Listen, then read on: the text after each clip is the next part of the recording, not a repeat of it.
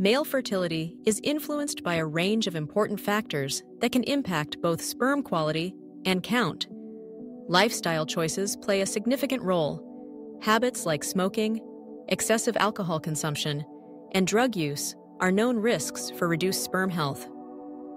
Obesity and a sedentary lifestyle can also contribute to low sperm count and decreased motility.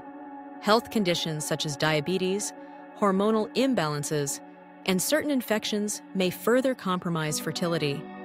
Environmental exposures are equally important.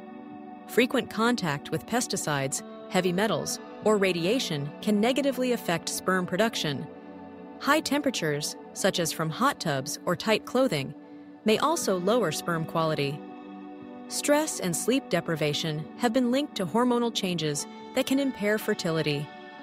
Addressing these factors by maintaining a healthy lifestyle, managing stress, and avoiding harmful substances can help support optimal sperm health and increase the chances of conception for men facing fertility challenges.